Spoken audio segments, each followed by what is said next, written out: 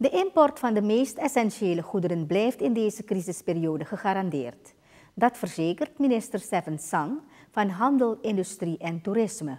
Er wordt gewerkt aan een importstop op luxegoederen. Dit om ervoor te zorgen dat de import van de meest essentiële goederen gegarandeerd blijft. Bij de COVID-19-update gaf de minister nadere uitleg over de wet burgerlijke uitzonderingstoestanden die door het parlement is goedgekeurd. Het ministerie van Handel, Industrie en Toerisme heeft een belangrijke taak om ervoor te zorgen dat eerste levensbehoeften en goederen gegarandeerd en betaalbaar blijven. Er zijn voorstellen om voornamelijk de primaire basisproducten betaalbaar en beschikbaar te houden. Producten die we niet zelf kunnen maken, zullen we moeten importeren. We zijn ons bewust van de situatie met de prijzen in de winkels. De valutawet heeft de koersvlucht een abrupt halt toegeroepen. We werken eraan met de centrale bank om de situatie verder te normaliseren en de wet ten uitvoer te brengen. Met enkele importeurs van basisgoederen en de winkeliers zijn afspraken gemaakt. En zeer binnenkort zullen basisgoederen worden geleverd aan de winkels tegen betaalbare prijzen.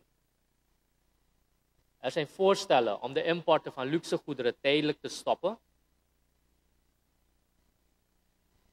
Om de beschikbare middelen aan te kunnen wenden om de strategische goederen voor een bepaalde periode te kunnen garanderen. En dan heb ik het over strategische goederen als de primaire levensbehoeften, maar daarnaast ook voor COVID specifiek vitamine C, zuurstof, mondkapjes, personal protective equipment en dergelijke. Maar ik wil herhalen dat het gaat om een voorstel voor een tijdelijke importstop. Er was wat commotie ontstaan omdat er een stuk was uitgelekt en er is een leuk verhaal eromheen verzonnen. Maar het gaat om een tijdelijke importstop van luxe goederen om de strategische importen te kunnen garanderen voor de komende drie tot zes maanden. Aan de andere kant moet het ministerie de bedrijven in kaart brengen die zijn getroffen door COVID-19. Volgens minister Tsang liggen er al enkele voorstellen klaar die meegenomen zullen worden in het stimulusplan dat door de burgerlijke uitzonderingswet ook in orde moet worden gemaakt. Er is een voorstel om de betaling van hypotheken en leningen uit te stellen voor een bepaalde periode om bedrijven en individuen tegemoet te komen.